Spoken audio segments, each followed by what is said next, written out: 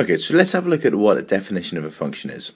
A function is a special mapping such that every element of the domain is mapped to exactly one element of the range. So that means that every element of the domain goes to exactly one element of the range.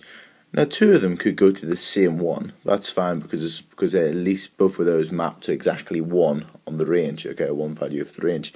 Um, however, you couldn't have a value of the domain going to two different values of the range. That wouldn't be a function. Okay, let's have a look at those in sort of on mapping diagrams and see what they mean.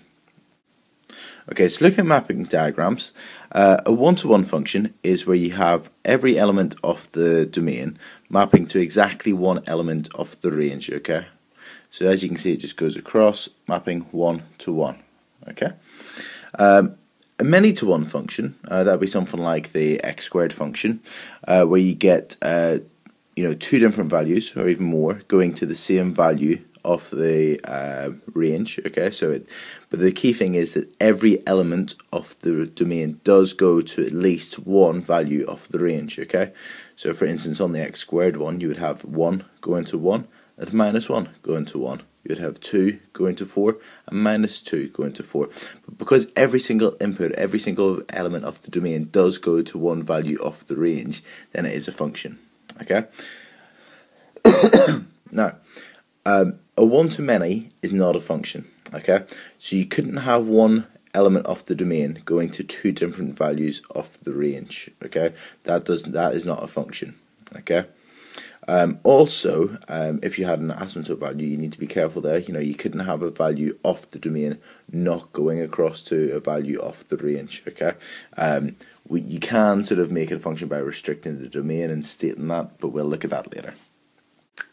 Okay, so let's have a look at from graphs which ones are functions and which ones aren't functions and what type of functions they are if they are a function.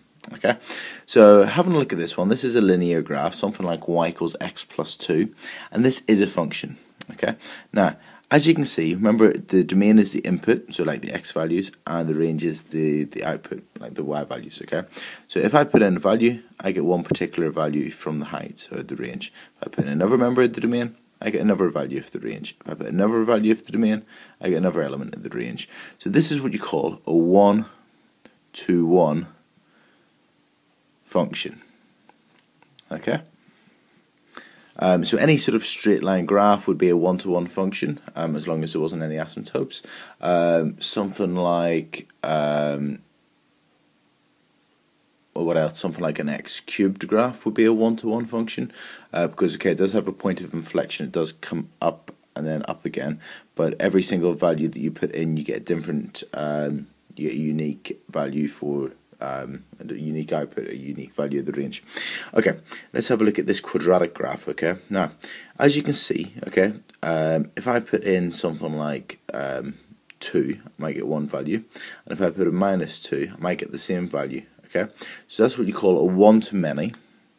Sorry, many to one, many to one function. Because many values of the domain may go to the same value of the range, but every value does go to a corresponding value of the range. So for instance, as you can see, two particular values that you put in may give you the same height, so many go to one answer, okay, so it's a many to one function. Okay, now this graph here, okay, any graph that sort of goes back on itself, see the way here it's going back on itself, it's like looping around, won't be a function. Okay, the reason is you can't have one particular input going to two different heights. Okay, two values in the range. Okay, that would be a one to many. Okay, which isn't a function. So that's not a function. You can't have one value of the domain going to different values of the range.